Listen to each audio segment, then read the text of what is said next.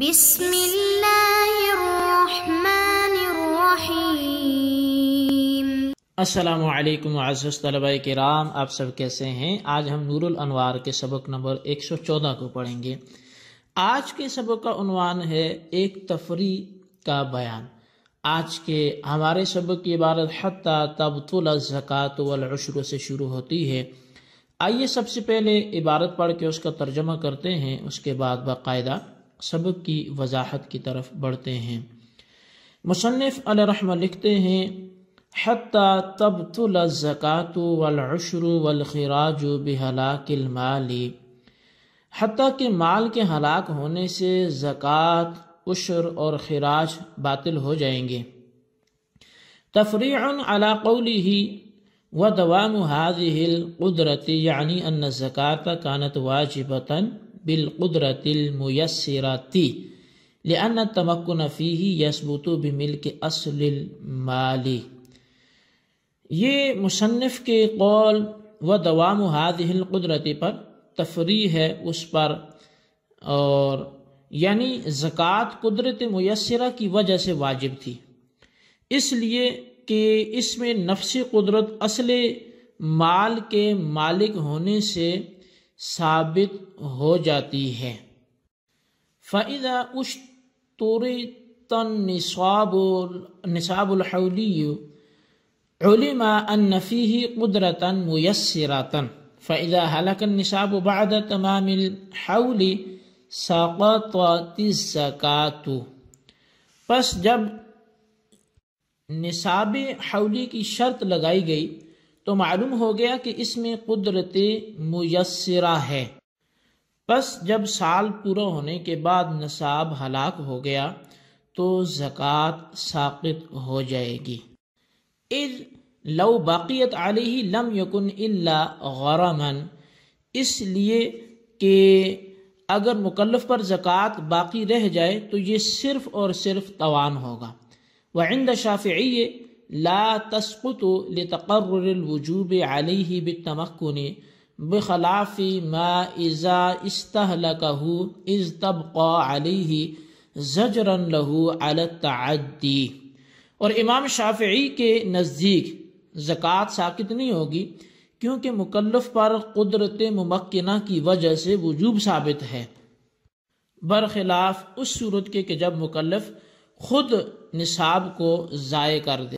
تو اس پر زکوٰۃ باقی رہ جاتی ہے تاکہ اس کی زیادتی پر اس کے لیے ڈانٹ ڈپٹ ہو جائے۔ وہذا اذا ہلاکا کل النصاب اذ لو ہلاکا بعد النصاب تبقى بقسطه، لأن شرط النصاب في الابتداء لم يكن الا للغناء لا لليسر۔ یہ اختلاف اس وقت ہے جب پورا نصاب ہلاک ہو جائے۔ کیونکہ اگر نصاب کا ایک حصہ ہلاک ہوا تو زکوٰۃ اس کے باقی حصہ کی باقی رہ جائے گی۔ اس لیے کہ ابتدا میں نصاب کی شرط صرف غنا کے لیے تھی، نہ کہ یسر کے لیے۔ از ادا درہم من اربعین کا ادا خمستی دراہم من مئتین۔ فإذا وجد الغناء ثم هلك البعض فليشر في الباقي باق بقدر حسقته۔ اس لیے کہ چالیس میں سے ایک درہم کا ادا کرنا ایسا ہے جیسے دو سو درہم سے پانچ درہم کا ادا کرنا۔ پس جب مالداری پائی گئی، پھر بعض نصاب ہلاک ہو گیا، تو باقی کے اندر اس کے حصہ کے بقدر یسر باقی ہے جی طلبہ کرام، یہ ہمارے آج کے سبق کی عبارت اور اس کا ترجمہ تھا۔ اب آئیے اس کی باقاعدہ وضاحت کی طرف بڑھتے ہیں۔ مصنف نے سابقہ میں، اسباق میں یہ بیان فرمایا کہ واجب کے دائم ہونے کے لیے قدرت میسرہ کا دائم ہونا شرط ہے۔ اسی پر متفرق کرتے ہوئے فرمایا کہ مال نصاب کے ہلاک ہونے سے، زکوٰۃ اور پیداوار کے ہلاک ہونے سے عشر اور خراج باطل ہو جائیں گے۔ مطلب یہ ہے کہ زکوٰۃ قدرت میسرہ کی وجہ سے واجب ہوتی ہے۔ کیونکہ زکوٰۃ پر نفسی قدرت یعنی قدرت ممکنہ ایسے مال نصاب کے مالک ہونے سے ثابت ہو جاتی ہے جو مال حاجت اصلیہ اور قرضہ سے فارغ ہوتا ہے۔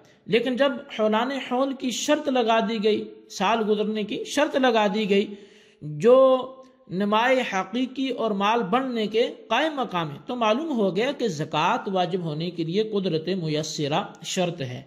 چنانچہ اگر وجوبی زکوٰۃ کے لیے قدرت میسرہ شرط نہ ہوتی، تو سال گزرنے کی جو شرط قرار دیا جاتا ہے، پھر یہ نہ قرار دیا جاتا۔ بس وجوب زکوٰۃ کے لیے اسی قدرت میسرہ کی شرط اسی قدرت میسرہ کی شرط ہونے کی وجہ سے حولان حول کے بعد اگر پورا مال نصاب ضائع ہو گیا تو احناف کے نزدیک اس کی زکوٰۃ بھی ساکت ہو جائے گی۔ اور حضرت امام شافعی علیہ رحمہ کے نزدیک زکوٰۃ ساکت نہیں ہوگی۔ ہاں اگر حولان حول سے پہلے مال نصاب ضائع ہو گیا تو بال اتفاق زکوٰۃ واجب نہیں ہوگی، بلکہ مکلف کے ذمے سے ساکت ہو جائے گی۔ حولان حول کے بعد مالی نصاب ضائع ہونے کی صورت میں زکوٰۃ ساکت ہونے پر احناف کی دلیل یہ ہے کہ مال نصاب ضائع ہونے کے باوجود اگر مکلف پر زکوٰۃ باقی رکھی گئی تو یہ مکلف پر ایک طرح کا توان ہوگا اور بغیر قدرت کے زکوٰۃ واجب کرنا لازم آئے گا۔ حالانکہ قدرت میسرہ کے بغیر زکوٰۃ واجب نہیں ہوتی۔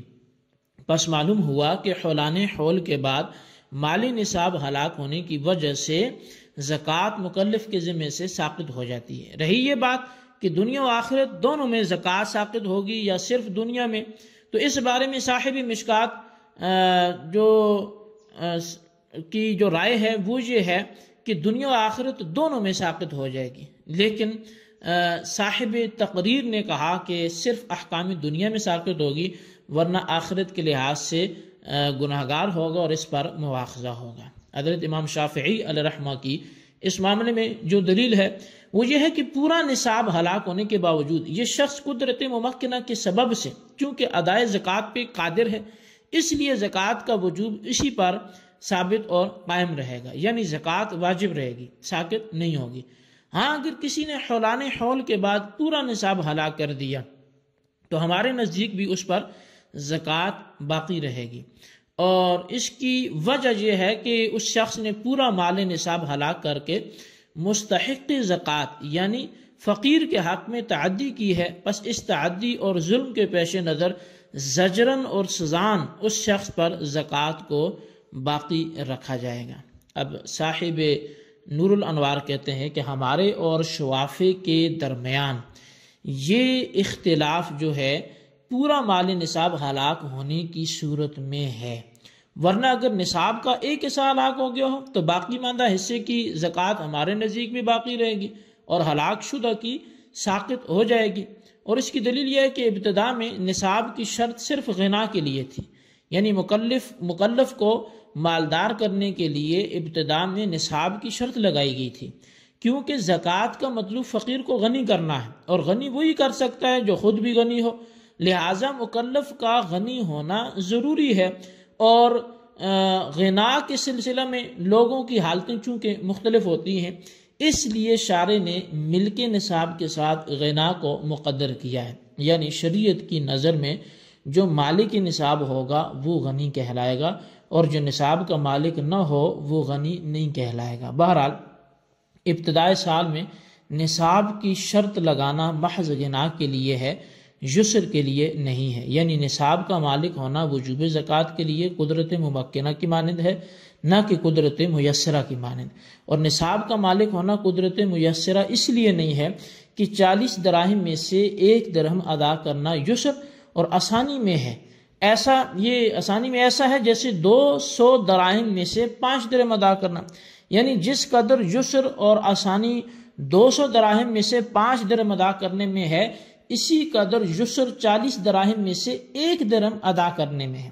لہذا ثابت ہوا کہ نصاب کی شرط لگانا یسر کے لیے نہیں، بلکہ غنا کے لیے ہے۔ بس جب غنا یعنی مالی کی نصاب ہونا پایا گیا اور پھر حولان حول کے بعد نصاب کا ایک حصہ ہلاک ہو گیا، تو یسر باقی حصہ میں چونکہ اس کے حصہ کے بقدر موجود ہے، اس لیے باقی حصہ میں وجوب زکوٰۃ باقی رہے گا۔ مثلا دو سو درم میں سے حولان حول کے بعد ایک سو درم ضائع ہوگے تو باقی ایک سو درم میں ڈھائی درم زکوٰۃ واجب رہے گی اور ہلاک شدہ ایک سو درم کی زکوٰۃ ساقط ہو جائے گی، کیونکہ دو سو درم میں سے پانچ درم ادا کرنے میں جس قدر آسانی ہے، اسی قدر ایک سو درم سے ڈھائی درم ادا کرنے میں بھی آسانی ہے۔ جی طلبہ کرام، یہ ہمارے آج کے سبق کی وضاحت تھی۔ آج کے سبق میں ہم نے امام شافعی سے اختلاف بھی کیا، لیکن بتاتے جائیے گا کہ کس صورت میں کیا۔ اس کو مختصر کر کے، خلاصہ کر کے اپنے رجسٹر پر لکھیں، بالخصوص ان سوالات کے جوابات دیں سوال نمبر ایک یہ ہے کہ ہمارے اور امام شافعی کے درمیان جو اختلاف ہے وہ کس صورت میں ہے؟ مخصوص صورت تحریر کریں۔